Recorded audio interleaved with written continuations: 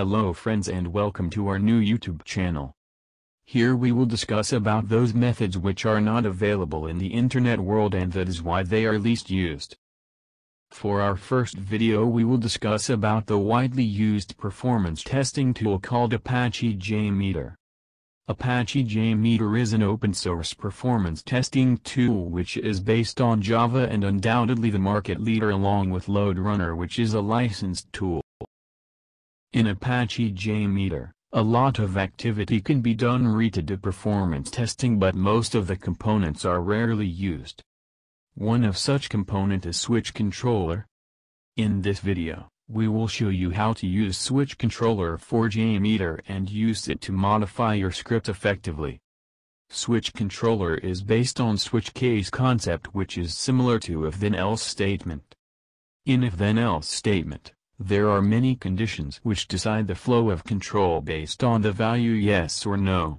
When response to a condition is affirmative, a statement is run and when it is negative another condition is checked.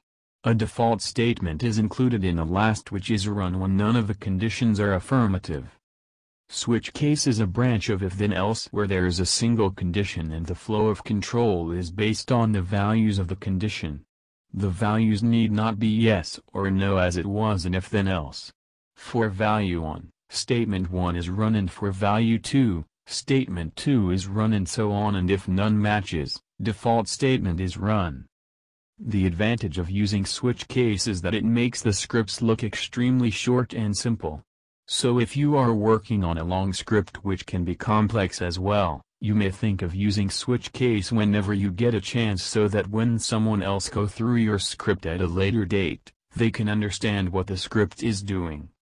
The switch controller in JMeter follows the same method of switch case, but with some changes in it. Change 1. The values of the switch statement has to be an integer starting from 1 onwards. Change 2. The default statement is kept on top of all the statements, that is the default statement comes first. In switch case, the default statement comes last. With this we can have a small demo for switch controller. The scenario which we are going to discuss is like this. We will take a country name as input. Based on the country name, the script will decide the continent of that country. Here we have Asia, Africa, and Europe. Then the script will show the Wikipedia page of that continent. When the continent is not among Asia, Africa or Europe, the Wikipedia page of default will be shown. The script is present as shown. It is a simple script which consists of a simple thread group, a user-defined variables to give the country name as input, a BeanShell sampler to find out the continent of that country and finally our switch controller which will decide which Wikipedia search will be conducted. The entire value will be observed in view results tree. We also have CSV dataset config to take multiple inputs, which we will cover at the end of this video.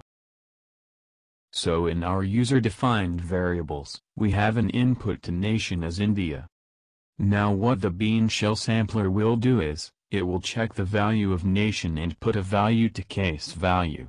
If the case value is 1, then it is Asia. If the case value is 2, then it is Africa and if the case value is 3, then it is Europe. The default is set as 9, but you can set it as anything. Now coming to switch controller, it is here where we have to enter the value that will decide which transaction will be executed. And as I have mentioned earlier, it has to be an integer value.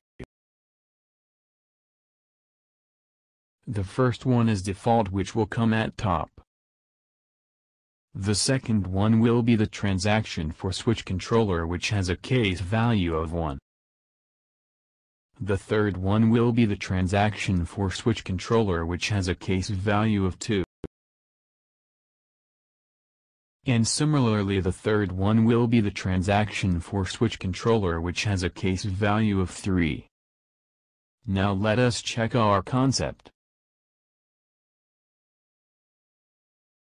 When we keep the value as 1, the Asia will run.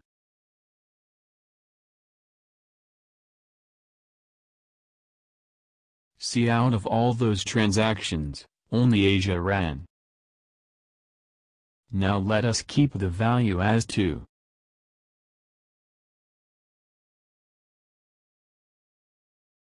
And we can see Africa has run.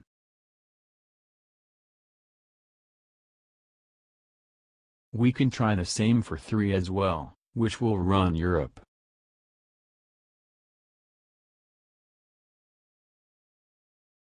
And here it is. Let us keep the value as 4, then the default one will run as there was no transactions for 4. The default Wikipedia page shows that the topmost transaction has run. If we keep the value as 0, then also the default will run. For any value other than 1, 2 or 3, the default will run. Let us automate the value by making it dependent on the country. We can set the value as case value, which will be picked from the list in BeanShell Sampler. We can also put nation in the transactions inside the switch controller to know which one is picked.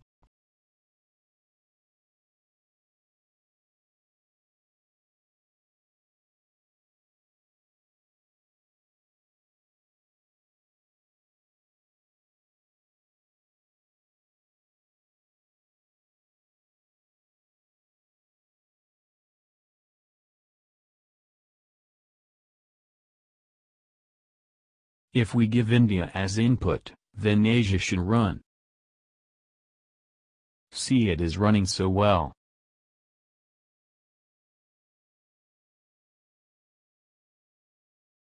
If we give Kenya, then Africa should run. Running fine.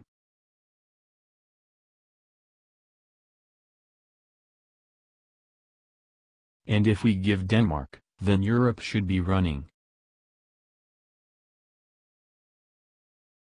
Working as expected. Now coming to test the default values.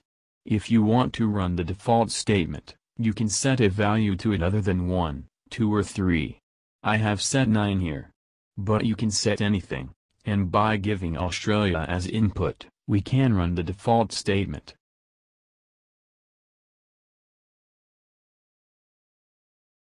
See we have hit the default page. With this we have successfully understood our switch controller. Now it's time to make it work for multiple inputs. Then we can disable the user-defined variables and enable the CSV dataset config to pick inputs from a file. In the file, you can see the list of country names in it. Now let us run it in a loop for 11 times.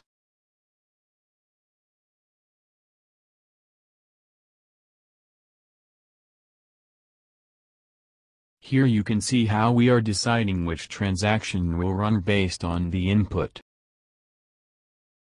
For African nations, Africa Wikipedia page has run. For Asian nations, Asia Wikipedia page has run. And for European nations, Europe Wikipedia page has run. Well friends, let us hope that we have learned how to use the switch controller in JMeter. Unlike LoadRunner where we have a dedicated community which will resolve all the problems in LoadRunner, JMeter users find it extremely hard to fix their problem due to lack of a community for it. Hence if anyone is facing any problem related to JMeter, or even LoadRunner, please mention it in the comment section. So that I can answer and possibly come out with another video. Till then,